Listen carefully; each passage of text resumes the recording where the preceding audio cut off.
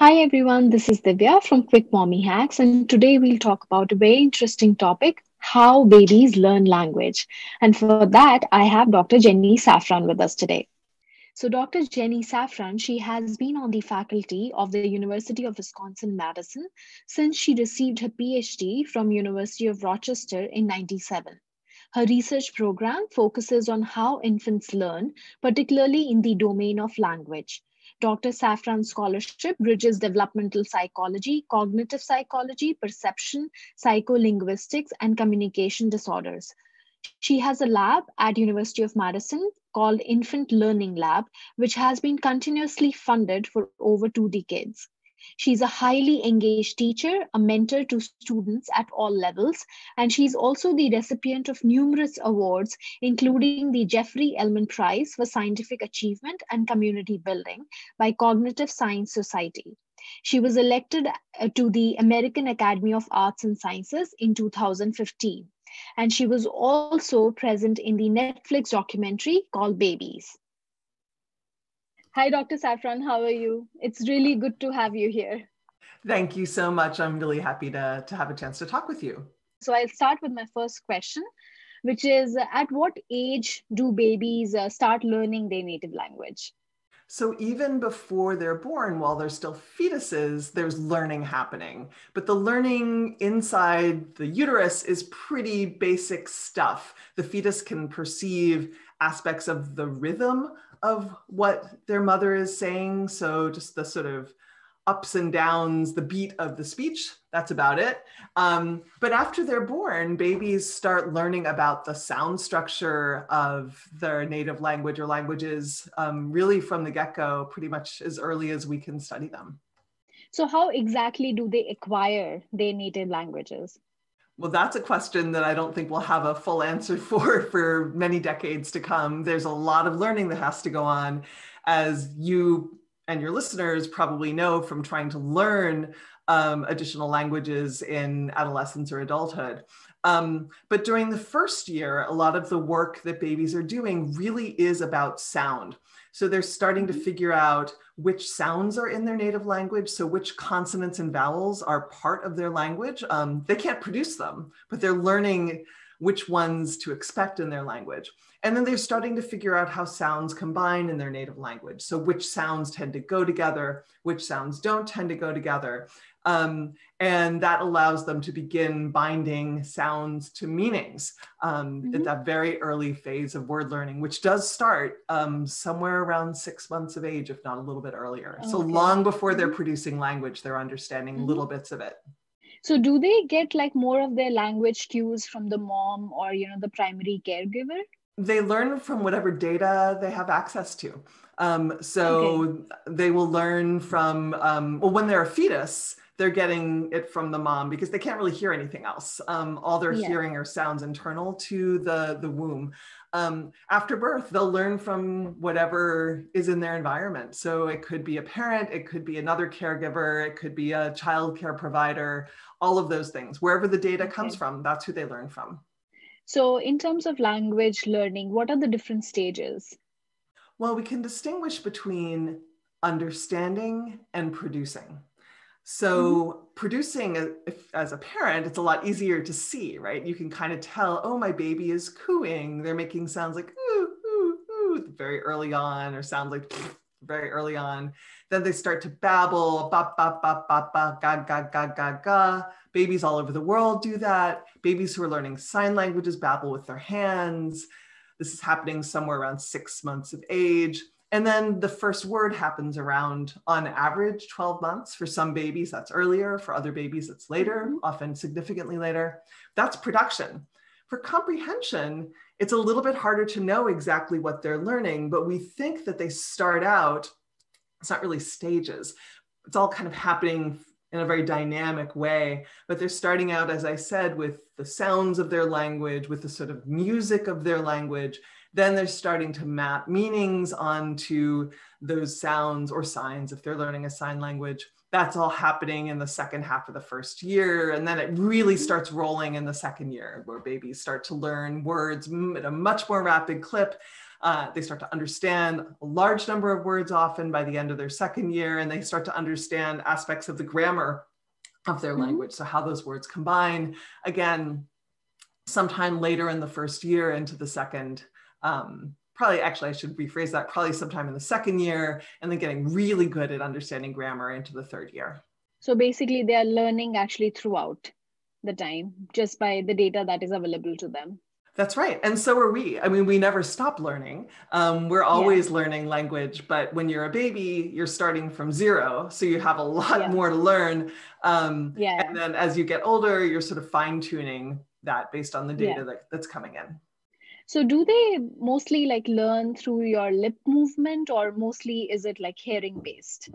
Um, well, it's if you are a baby who can see and can hear, um, so uh, if you have access to both of those modalities, then it's both. Um, babies are actually integrating the what they're seeing on the face with what they're yeah. hearing in speech. Um, there's a lot more information and sound than than the face, though. If you watch mm-hmm. someone talk, even as, even as an adult, so if we turned off my audio right now and you just looked at me, you wouldn't have any idea what I was saying. Um, yeah. So the mouth doesn't provide, it provides some data, but not as much data as your ears do. Um, if you're a blind baby, you learn, we believe that you learn um, spoken language at the same clip as a hearing baby, uh, as a sighted baby. So you're able to use all that audio stuff and you don't need the face. And then babies who are deaf um, are actually much much more facile at learning sign languages, at learning languages on the mm-hmm. hand, because of what I just said. There's just not that much data on the mouth mm-hmm. that would tell you the difference. I mean, the difference between bat and pat, it's really easy to mm-hmm. hear. It's really subtle on my mouth. Um, so yeah. that's hard. So is there any data which suggests any evidence, you know, which suggests that boys or girls, you know, they learn languages differently? It's a great question. There's we don't really know about differently. There's a little bit of data, both from experiments and also from uh, more standardized measures, that girls are a little quicker uh, to learn their native language. Um, and most measures, we would see probably girls outstripping boys on average. There's not going to be a lot of range. On average, a little bit. Uh, some of that might be because boys are much more likely to have developmental disabilities than girls are. So if mm-hmm. you look at the rates of different developmental disabilities that impact language learning, like autism or um, language disorders, um, they're more likely to be seen in boys. So some of that mm-hmm. difference could just be due to undiagnosed uh, language disorders, but on average, yes, girls are a little bit quicker than boys. Mm-hmm. So, how can parents facilitate uh, this language development process? I mean, does baby talk helps? Well, so the most important thing parents can do is give their children an environment that has lots of language in it. And that's something we naturally do as humans. Um, when we're around babies, we talk to them. It's you don't have to try. Mm-hmm. it's just something we naturally do. Um, in terms of, so we don't have to do anything special, is what I'm trying to say. But if mm-hmm. babies don't hear language, if they're not around people interacting with them, they're not going to learn. You need data to learn from. Um, in terms of baby talk, so we can distinguish between the music of how we talk to babies. We call this infant directed speech. Um, mm-hmm. And we see it all over the world. When we talk to babies, we tend to go slower and higher pitch and bigger changes in our pitch. We see that all over the world. Um, mm-hmm. That actually does seem to draw babies' attention. They prefer listening to talk like that than to talk like mm-hmm. what I'm doing right now. And in experiments, we see that babies learn a little bit faster from talk that's okay. very rich in this pitch. Mm-hmm. Um, but by baby talk, some people mean also like gaga, goo goo kind of stuff. And there again, you have to think about the data you're giving the baby. If you want the baby to learn your native language, then you have to talk yeah. in your native language. And gaga, goo goo isn't your native language. So I think the answer to mm-hmm. your question is yes, in terms of the musical way we speak to babies. And again, we see this all over the world in cultures that are incredibly diverse. Um, but in terms of like special you know, gaga goo goo stuff, it's not going to hurt them, but it's probably not going to like mm-hmm. teach them words mm-hmm. because it doesn't have words in it. So you suggest that parents should uh, talk, you know, in proper words to their babies, but it could be more in the form of like this uh, singing kind of voice that you said. To be honest, I think the parents should do what comes naturally to them. Um, mm-hmm. babies really are incredibly good at figuring out how language works. Um, and I think parents have enough stress right now. And so um, I think if parents are feeling always worried when they're with their baby, am I talking enough? Will my baby not get into college because, you know, yeah. I'm tired today and I'm not speaking in, yeah. you know, big fancy paragraphs? They don't need that pressure. Babies have been learning language as long as language has existed. They don't need flashcards. They don't need fancy games. They just need caregivers who love them and who want to engage with them. Um, that's the, that's all that really matters. So I just want to elaborate a little bit on this topic because of course like I personally tend to buy a lot of flashcards and a lot of you know those musical books which are there you know which could you know, suggest that they could actually help baby learn the words and languages. So do you think that those kind of toys uh, help or you know it's just basically parents talking to the baby all the time is that like enough? You know babies hu- humans evolved in an environment that didn't have flashcards and didn't have electronic toys. Um, yeah. And uh, as long as as long as they're exposed to, you know, uh, we do know from a fair amount of research now that babies are better at learning language from social interactions than mm-hmm. from screens.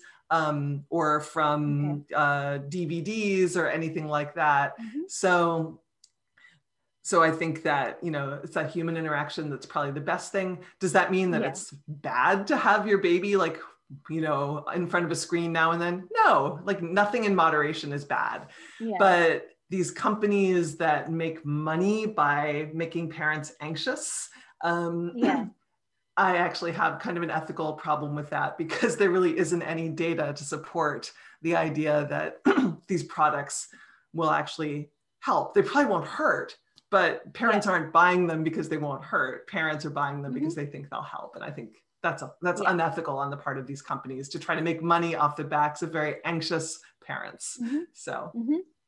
no, I, I guess I add, like that's an yeah sure i was just saying i wanted to add just one sort of additional thing though a lot of babies are having more screen time these days because of the pandemic yes. because they're interacting mm-hmm. over zoom or skype or whatever facetime yes. um, with family members and friends who are not present. And that's mm-hmm. great. There's actually evidence that babies do learn um, things like words um, almost as well, if not as well, from an interaction like you and I are having now yeah. as they do mm-hmm. from an in person interaction. What really matters is the contingency so that the person yeah. on the screen is reacting to the baby, responding to the baby, having that back and forth, that sort of serve and return play uh, engagement. Um, babies can learn just fine from that. So, um, so I think, especially in these pandemic times when families aren't together or when families are spread all over the world, I think, you know, FaceTime and Zoom are amazing. And I wish we'd had them when my kids were little um, and, you know, only saw their grandparents once a year. This you know this technology is wonderful. Yeah, so i didn't mean to critique the technology. Um, yeah, the critique is more about the companies that market it mm-hmm. as educational. So do you think early exposure to music can actually help with language development as well? So we know babies love music. It's probably the stimulus maybe other than speech that they like the most and mm-hmm. i think if you were to design the perfect data for babies the perfect stimulus it's actually infant directed singing. So, singing that is directed to a baby. It has speech in it and music. And that's like, mm-hmm. babies love that. Um, but I don't think there's any evidence that exposure to music helps with language learning. Um, there's a little bit of, there's a debate in the literature about by the time children are preschoolers or in school age, does do music lessons and things like that help with things like learning to read? So there's maybe, there's an argument perhaps to be made a little bit older for music lessons, but the reason to play music for babies or to sing to babies is that they just yeah. love it. It's something that brings mm-hmm. them joy, it's engaging, it promotes bonding. Um, so I think it's a, a wonderful thing. And it speaks your question speaks to this the same yeah. point as the educational toys we should do things that babies enjoy because they enjoy them not because they're going mm-hmm. to necessarily promote you know some yeah. academic skill or help babies get into college or whatever that's not the reason to do these things um, the reason yeah. to do these things is because babies love them and it's fun for caregivers um, i think caregivers really enjoy finding arenas that they and the baby both enjoy doing together. And I think music is probably at the very top of that list for most babies and caregivers.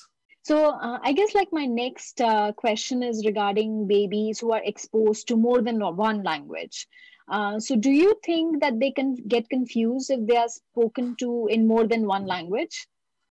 Not particularly. I think the data suggests that babies are extremely good even in that first year while they're just learning sounds, learning to understand yeah. language. They're very good at using probably the musical aspects of language to figure out, oh, that's language one. I'm going to put it over here in this box in my brain. Oh, that's language two. It sounds different. I'm going to put it over here in this box in my brain, and then learning them separately. Um, and the evidence from experiments is that babies who are bilingual, they're not delayed in any way. If anything, it might, you know, if we're testing something that they might have learned at 12 months, if you're a monolingual baby, maybe they've learned it at 13 or 14 months.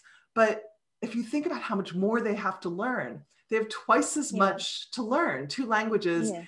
And mm-hmm. here's the stunning thing for me they have half as much data because if you're hearing two languages, if you imagine you're awake for uh, 10 hours a day, instead of having 10 hours of one language, you're going to have five hours of one language and five hours of the other language. And yet they're doing it and they're not behind in any substantial yeah. way. So, um, uh, I think bilingual exposure to, for babies is an absolute gift and something um, that should be really treasured and appreciated um, and not uh, and not a for, not a source of concern. Babies in most, maybe not most. Um, I mean, the United States, as you probably know, is weird because so many people here are monolingual. But in most parts of the world, yeah. everyone is bilingual or trilingual, um, and babies learn their languages just fine. So it's it's more that the United States, or at least like a lot of pockets of the United States, are just so bizarrely monolingual um, compared to most other yeah. countries. I think. Mm-hmm. So for babies who are, you know, learning more than one language, is there a way that parents should, uh, you know, facilitate that uh, learning process? Like mom should speak in one language or dad should speak in another language or something like that? I think the data suggests that doing whatever parents find natural is the best strategy. The problem with the one parent, one language approach, like on the one hand, it makes sense. If you're trying to split up your data, you know if yeah. mom is always doing language one and dad is doing language two that's a cue that could tell you that they're separate. The problem is that in most families the parents still talk to one another right? And so it would be incredibly weird and unnatural for the parents to have parent one speak language one to parent two who responds in language two. That would just be really weird. Yeah. and in fact there's been some very careful research looking at what parents actually do um, in Montreal, which is a heavily bilingual city. And I believe the data suggests that only 10% of bilingual families actually follow that strategy um, okay. reliably, even though a lot of people think they're doing that, but they're not really because the, they forget that the baby is collecting data from speech they overhear as mm-hmm. the parents talk to one another. They're not just learning when mm-hmm. you talk to them, they're learning from everything yeah. they overhear. Um, and those babies are all learning language just fine. So, um, so I would say to parents, um, again, do what comes naturally. Don't stress out about this. Um, babies are gonna, they'll, they're able to use the, again, these sort of musical aspects of language, the different accents of speech that they're hearing, the, the way the different speech sounds sound to put language one in one box and put language two in another box and go from there so i guess like of course like in bilingualism there are lots of different myths that parents have. Sometimes one of them is speech delays which you already kind of clarified that that doesn't happen. So are there any other kind of myths that you wanted to address like you know which basically worry parents? So, one thing that um, one notices when one interacts with bilingual children once they're speaking is a phenomenon called code switching, where the child will um, mix their two languages. And um, so, if a child is learning English and Spanish, they might say, like, you know, look at the gato or something like that. Um, parents do it too. so, that's part of how children learn it. Um, and so sometimes people worry that that suggests yeah. that there's a problem. But in fact, when you analyze, this is not my own work, but when researchers have analyzed the contents of children's code switches, the kids are doing something really smart, which is they're subbing in words from, let's say they're speaking in language one, and they get to a concept that they don't yet have a word for in language one. They pop in language two. So they're actually doing something super smart, which is um, essentially accessing the concepts um, in a very efficient way so that they can communicate. Um, and um, even though it sounds like they're confused, they're not um, probably uh, any more than their parents are, who often are code switching mm-hmm. as well. That's really good to know because that ha- happens a lot, at, at least like with adults as well. Uh, so I guess I'll move to language delays uh, in infants and toddlers. So what are the sign of speech or language delay in infants and toddlers? So the the first thing to know is so I, I alluded to this a little while ago. Um, the first word, the first word produced happens on average around 12 months of age in spoken languages. Yeah. It's a little bit earlier in sign languages. It's around 10 months of age. Um, but when you think of an average, an average means that uh, half the babies will be earlier and half the babies will be later. And so there's a huge amount of variability in those first productions of, of words. And so, um, you know, as a parent, if your child isn't producing words at 13 months, that's completely normal. That's completely within the range of what you might expect. Um, the thing that we often think about a lot is if a child isn't producing um, words by 18 months or two years, um, we might ask things like, um, how's their hearing? Um, because it's possible yeah. that part of why they might be a little bit delayed um, is they're not perceiving the sounds that they're hearing very well. Um, yeah. Another thing that we would ask is, do they seem to understand what they're hearing? Mm-hmm um, if they're understanding but not producing, then that's less of a concern. There are lots of reasons why babies might not be talking very much, but as long as they're understanding, that means they're learning. That means they're figuring stuff out. If they're not understanding words, you know, parents report that they're not understanding words by mm-hmm. 18 months or two years, that's where talking to a pediatrician is really important. Um, we might, uh, a pediatrician might ask, or speech and language pathologist might ask, uh, think about things like autism. They might ask if your hmm. child is pointing. Um, does your child follow your gaze when you're when you're pointing at something? Um, so at that point, that's where one would start to be a little bit more concerned. But in general, mm-hmm. if a child seems to be understanding language just fine and is engaging in social interactions in a pretty typical way, um, then uh, you know, there's this great old story um, about the child. Uh, it's probably not true, but the child who didn't talk until you know he was four. And one morning at the breakfast table, the child says, "Can you please pass the salt?" And the parents are like, "Oh my god, oh my god, you never talked before. Why didn't you talk before?" And the kid says, "Until now, everything was fine." Um, it's also the yeah. case that the majority of children who are late talkers will catch up and do just fine. Um, and there is a subset of children of roughly 7% of children um, in school age populations who do uh, evince evidence of a language disorder um, where they mm-hmm. have had difficulty acquiring their native language.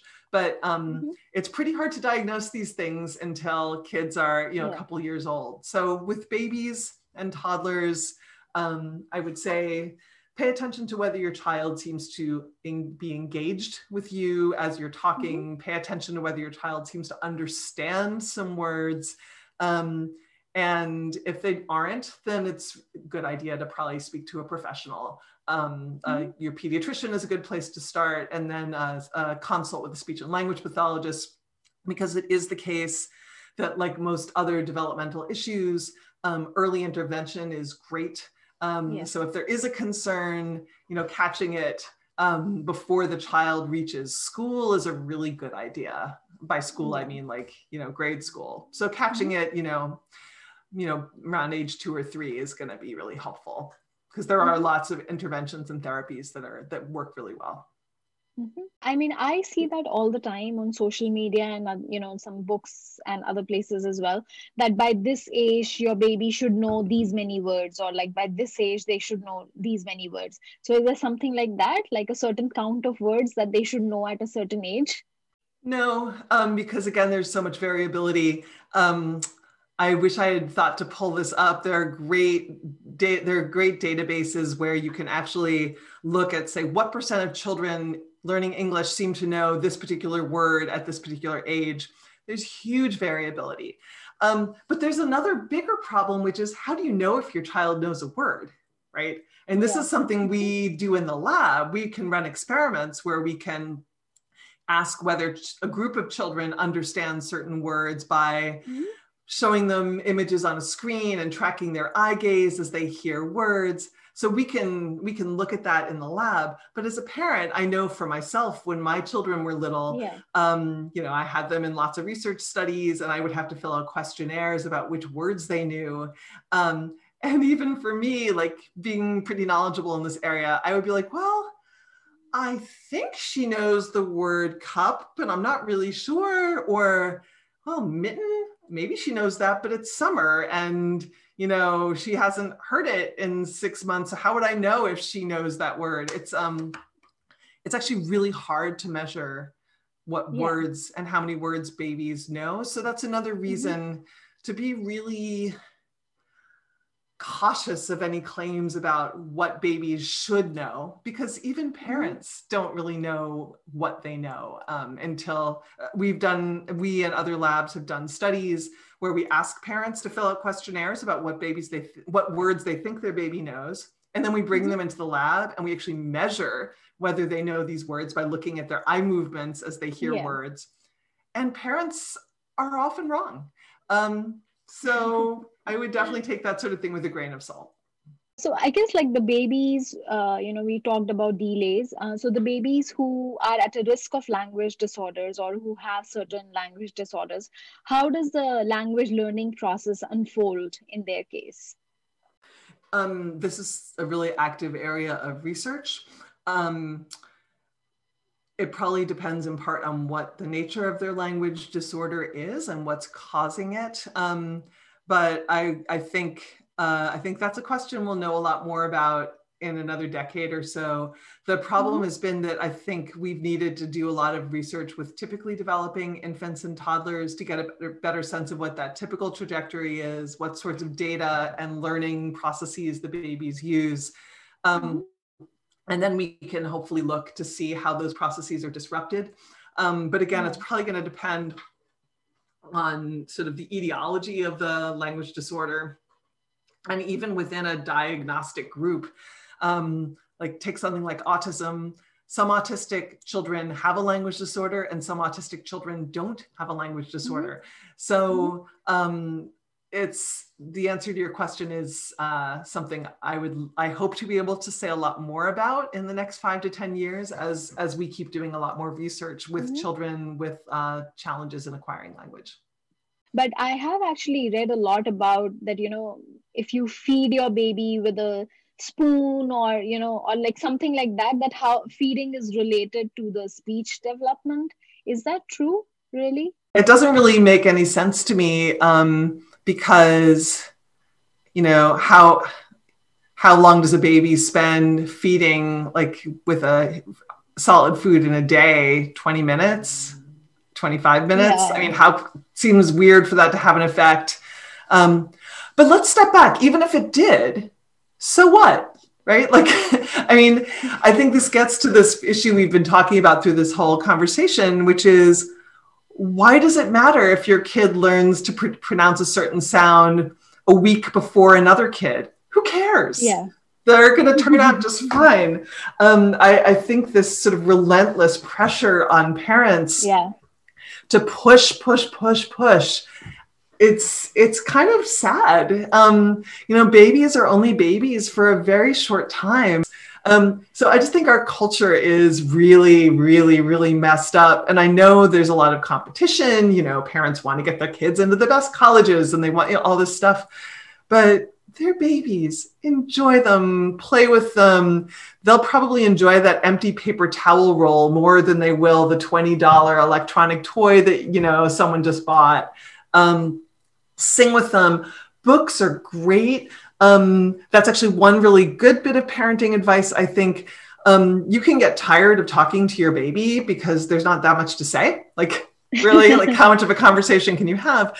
And that's part of where books are really wonderful because they give you a way to provide language to your baby, to give them input, data to learn from that's really easy and fun and that they really enjoy. And there's some research out there that suggests that books actually, children's books, uh, baby books, um, can really expand children's vocabulary because they often will expose babies to words that they don't hear otherwise. Um, and this is particularly the case for babies um, who might be in environments where their parents, um, you know, are really busy or stressed and, you know, just can't give them that much language input. But books are really mm-hmm. great. Um, so, you know, just finding ways to enjoy babies rather than viewing them as, oh, I got to get ahead, I got to get ahead, um, would be really, really, really good, um, I think. so i guess like all these are really really great points and just to end our conversation if you had to sum up and you know say something to all the new parents who are often worried about the language development and as we are speaking about the competition part of it so if you have like any last words of advice for them my last words of advice are enjoy your baby do what comes naturally don't force it um, they're only going to learn language if they hear language or see language if they're learning a sign language. So, you know, they need that data to learn from. But if you're having a bad day or you're really stressed out about something, you know, it's okay. You don't have to make sure you talk to them for two hours a day every day. They'll be fine. Um, babies have been learning language for millennia. They will keep learning language for millennia. Um, so just enjoy those really special first months and years because they won't come back. You won't have that experience again with your child. So enjoy it. That is absolutely true, actually. So yeah, I guess thank you, thank you so much for being here and you know providing us with so much information. And of course, you know, it's really, really going to be very helpful for all the new parents. Thank you so much. My pleasure. Thank you so much. Take care. yeah, yeah. thank you. Well, this brings me to the end of this video. Thank you for watching. If you like the video, subscribe to my YouTube channel, Quick Mommy Hacks, and follow me on Instagram for some personal tips on pregnancy, childbirth, and motherhood. Also, do leave your feedback and feel free to ask questions in the comment section below.